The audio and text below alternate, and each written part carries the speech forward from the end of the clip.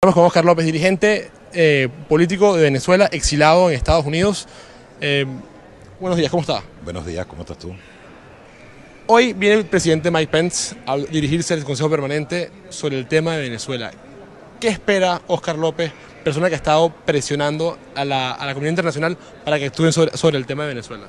Bueno, mira, yo espero que se continúe la agenda que se está llevando. Nosotros tuvimos hace unos meses con el presidente Pence y tuvimos una reunión en privado y después una reunión con una cantidad de venezolanos importantes en donde todos pudieron eh, tener acceso y los que tuvimos la reunión, digamos que más trabajamos cercano a todo esto del tema internacional desde que obligadamente estamos afuera, dio una agenda de una agenda de sanciones, de una agenda de cerco, de una agenda de todos los cercos y el poder de Estados Unidos hacia sanciones, hacia, hacia los otros países de manera de que se pronunciaran y no fueran tan tímidos. Porque ya la situación de Venezuela es dramática, o sea, está llegando a un, a un nivel de, demasiado digamos, mucho más de lo negro, por decirlo de alguna manera. Evidentemente, todas esas sanciones se han dado, se han dado sanciones a, medidas económicas que ellos han dictado, sanciones a delincuentes que son parte del gobierno, y eh, la gran conclusión que teníamos y que, se, y que se ha visto es que pues, Venezuela lo está gobernando en un régimen dictatorial, no es un régimen totalitario. Es un, eh, son personas eh, asociadas e inmersas en redes de, internacionales de, delincuencia organizada en diferentes ámbitos. Evidentemente, desde el punto de vista interno, lo que tenemos es que tener unidad de acción, unidad de plan, unidad de, trabajo interno de organización que pueda hacer presión y demostrar que somos mayoría. Y afuera, nosotros los que estamos en el exilio, trabajar por sanciones, ya lo ha hecho la Comunidad Económica con la Unión Europea, lo han hecho los países, hubo en la cumbre de las Américas hace poco, ahorita viene la reunión de los 14, del grupo de los 14 de México.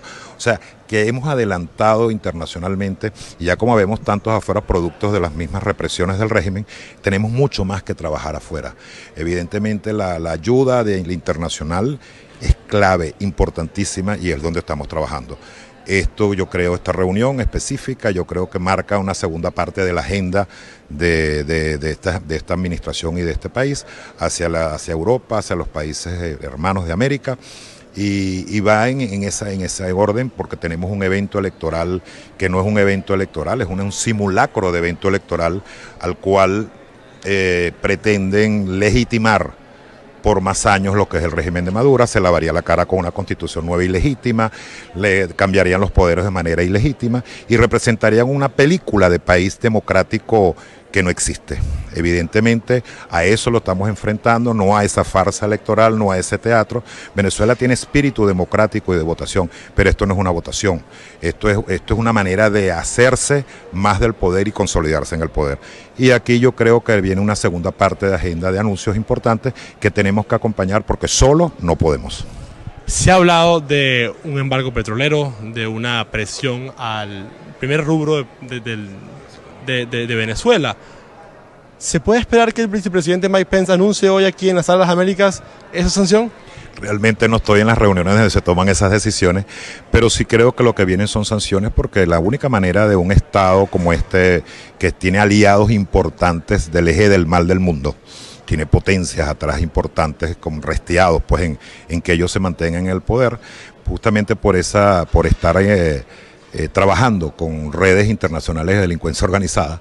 Entonces, evidentemente, creo que todas las medidas que se hagan. Lo que pasa es que cada vez que hagas más medidas, eso afecta más al común, al pueblo venezolano, al, ciudadano común, con el hambre, con la falta de medicina, más inseguridad, más, más todo lo que no queremos. Y nosotros queremos rescatar nuestro país y rescatar la democracia.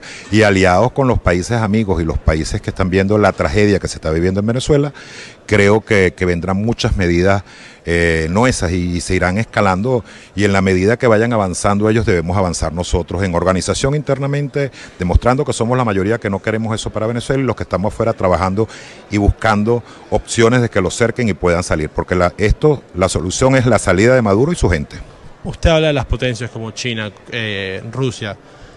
El encargado para asuntos del Norteamérica, el señor Moncada, estuvo ayer el, lunes pasado aquí en la OEA, abajo de nosotros en la sala Simón Bolívar y habla sobre el tutelaje, habla sobre la influencia de países externos y que eso, no es lo que quiere Venezuela. Venezuela quiere resolver sus problemas internamente.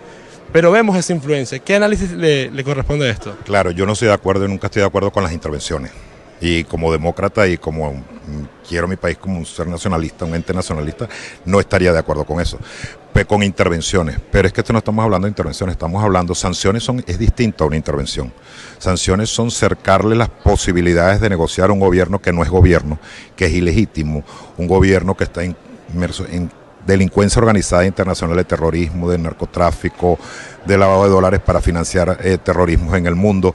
Evidentemente son unos delincuentes internacionales.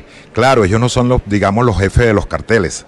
Ellos son piezas de esos carteles y tienen potencias que los están apoyando. Evidentemente sí debe haber eh, presencia internacional, pero dentro de los límites que hay, en los límites protocolares, las medidas económicas, los tratados internacionales que los han violado todos. Aquí no se está haciendo intervención, más intervención que la de Cuba y Rusia y China ahora en Venezuela eh, hay, que hablar. Hay hubo unas reuniones importantes hace poco eh, con, todos los acuerdos económicos de cómo se iba a hacer con Venezuela de muchos países y participó China. O sea, se va logrando que la gente se sensibilice que lo que está allá ya esto no es un problema de los venezolanos de Venezuela que es una tragedia. Esto es un problema que además allá es un problema para el hemisferio es un problema de seguridad casi que mundial lo que estamos viviendo en Venezuela. Y entonces solo no podemos y evidentemente la ayuda internacional la tenemos que buscar y con los métodos con los tratados con las medidas diplomáticas, económicas y las sanciones